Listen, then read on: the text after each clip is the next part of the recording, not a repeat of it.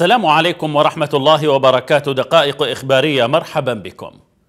ترأس عضو مجلس القيادة الرئاسية اللواء سلطان العرادة اليوم لقاء موسعا ضم رئيس هيئة الأركان العامة قائد العمليات المشتركة الفريق الركن صغير بن عزيز ومحافظ ووكلاء تسع محافظات ونواب ووكلاء خمس وزارات خدمية وعددا من القيادات العسكرية لمناقشة عدد من القضايا المتعلقة بالمستجدات على الساحة الوطنية في ظل استمرار ميليشيا الإرهاب والإمامة الحوثية المدعومة من إيران من خروقاتها للهدنة الإنسانية وأعمالها العسكرية المتواصلة.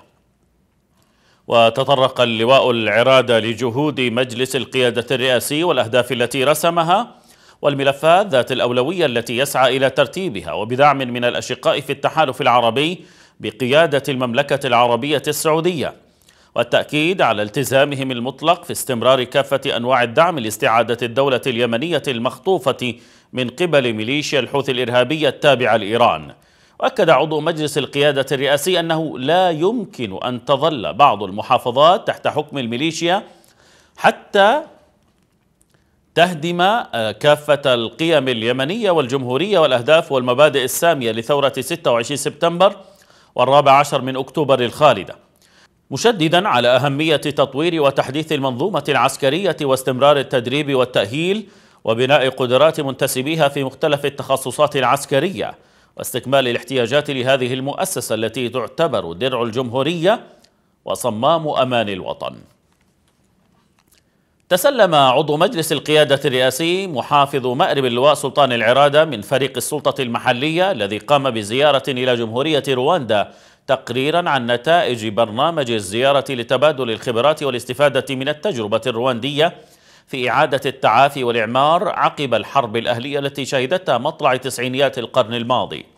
وخلال الاجتماع استمع اللواء العرادة من رئيس وأعضاء فريق السلطة المحلية أبرز ما خرجوا به من دروس مستفادة ومفاهيم من, تج من التجربة الرواندية في مجالات إعادة رسم وتكريس الهوية الوطنية الجامعة والتصالح والتعايش وإعادة بناء وإعمار البنى التحتية والخدمات الأساسية والتخطيط الاستراتيجي والتنفيذ للمشاريع في مختلف المجالات والاهتمام بالبيئة والنظافة وتحويلها إلى هم وسلوك وثقافة مجتمعية لكل فرد مع مراعاة الخصوصية الوطنية والإمكانات والقدرات المتوافرة. ووجه اللواء العراد الفريق بوضع خطة تنفيذية ومزمنة لتنفيذ مشاريع تنموية وخدمية من شأنها تطوير البنية التحتية في مختلف المجالات. جدد رئيس حزب التجمع اليمني للإصلاح محمد بن عبد الله اليدومي التأكيد على موقف الإصلاح الثابت إزاء الشراكة الوطنية في الحاضر والمستقبل لمواجهة التحديات التي يمر بها الوطن وعلى رأسها الانقلاب الحوثي. والتحرر من عقد ومخلفات الصراعات الماضية بين القوى والمكونات الوطنية بمختلف صورها. وقال اليدومي إن الإصلاح أكد وما يزال يؤكد بأن واقع اليمن وتركيبته السياسية والاجتماعية لا تقبل بأي حال من الأحوال تفرد أي طرف بالقرار السياسي. وشدد اليدومي على أن مبدأ الشراكة التي نصت عليه أدبيات الإصلاح قد أكدته وقائع الأحداث وشواهد التجربة العملية ما جعلها نهجا راسخا في سياسة الحزب منذ أول وهلة. أكد النائب إنصاف مايو رئيس المكتب التنفيذي للتجمع اليمني للإصلاح بعدن على أهمية النهوض بواقع عدن واستعادة دورها الرائد على مختلف الأصعدة وفي كافة المجالات انطلاقا من أهميتها الاستراتيجية. ورحب مايو في تصريح صحفي بمناسبة الذكرى الثانية والثلاثين لتأسيس التجمع اليمني للإصلاح بالحوار والتعاون مع جميع القوى والتيارات لخدمة أبناء المحافظة.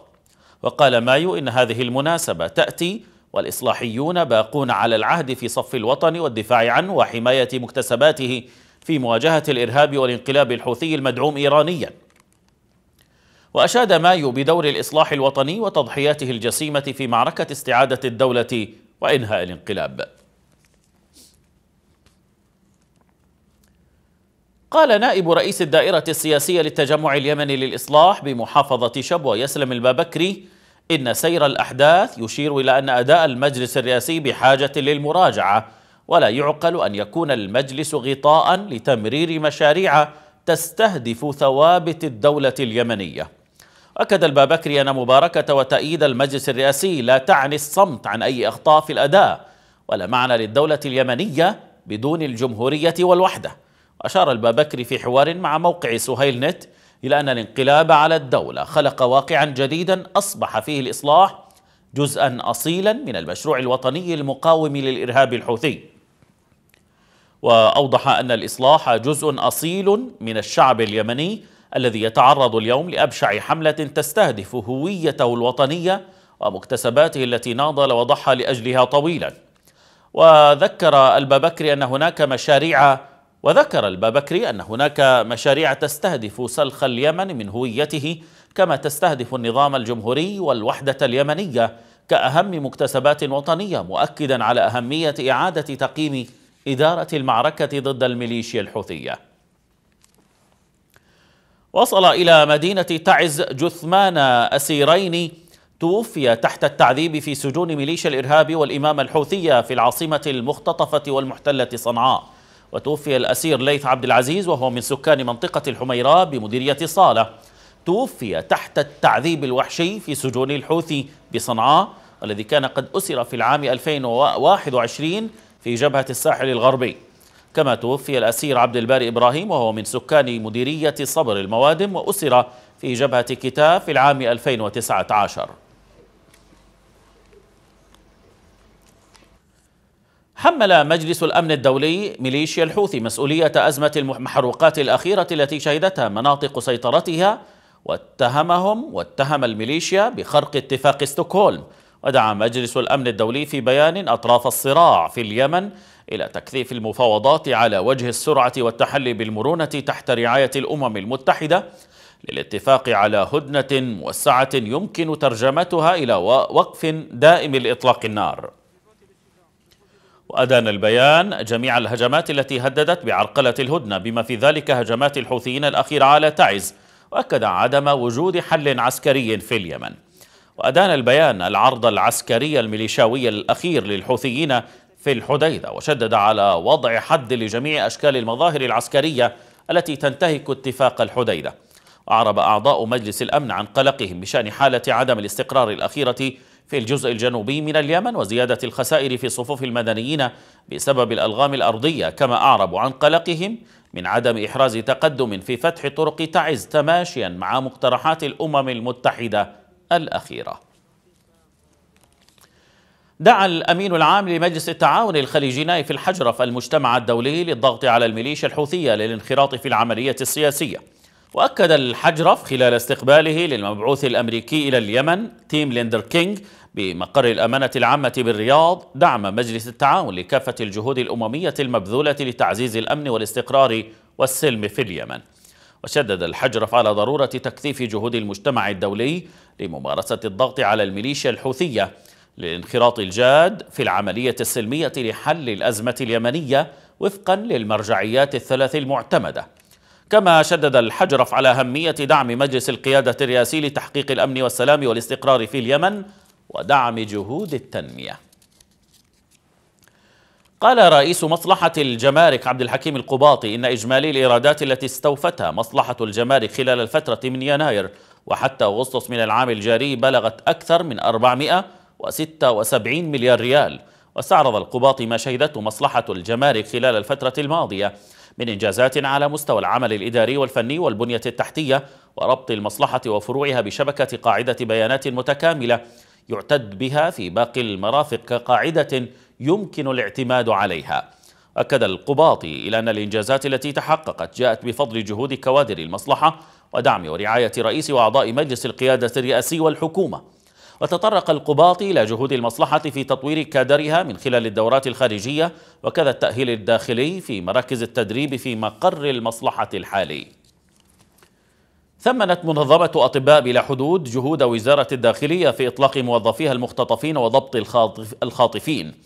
جاء ذلك خلال لقاء وكيل أول وزارة الداخلية لواء الركن محمد سالم بن عبود الشريف اليوم بسيئون قائد فريق إدارة الأزمات بمنظمة أطباء بلا حدود استنيفاني نوبرت. أوضح الوكيل الشريف أن عملية تحرير المختطفين والوصول للخاطفين جاءت عقب عملية متابعة وتحر واسعة للأجهزة الأمنية. أكد أن وزارة الداخلية حرصت على سلامة المختطفين أثناء تنفيذ عملية تحريرهم مشددا أن وزارة الداخلية لن تتهاون أو تتساهل مع كل من يحاول المساس بأمن واستقرار الوطن أو تعكير الصفو العام للمواطن والمنظمات العاملة في المجال الإنساني. التقى وزير الصحة العامة والسكان الدكتور قاسم محمد بحيبح بالعاصمة المؤقتة عدن اليوم المدير الإقليمي للجمعية الدولية لرعاية ضحايا الحروب والكوارث الأمين الدكتور محمد ديب درباع. تناول اللقاء موضوع بناء القدرات للكادر الفني في أقسام الأطراف من خلال مشروع منح تعليمية في مجال علوم الأطراف لعدد من الكوادر المحلية وفقا لمعايير معتمدة تضمن الاستدامة للبرنامج. الدكتور بحيبح ثمن الدعم المقدم من قبل المركز مركز الملك سلمان للإغاثة والأعمال الإنسانية عبر الجمعية في مجال الأطراف الصناعية والعلاج الطبيعي. مشيرا إلى أن الوزارة تولي مراكز الأطراف أهمية كبرى نتيجة لتزايد عدد الإصابات الناتجة عن الألغام التي تزرعها ميليشيا الإرهاب والتمرد الحوثية ويصاب بها الأطفال والنساء.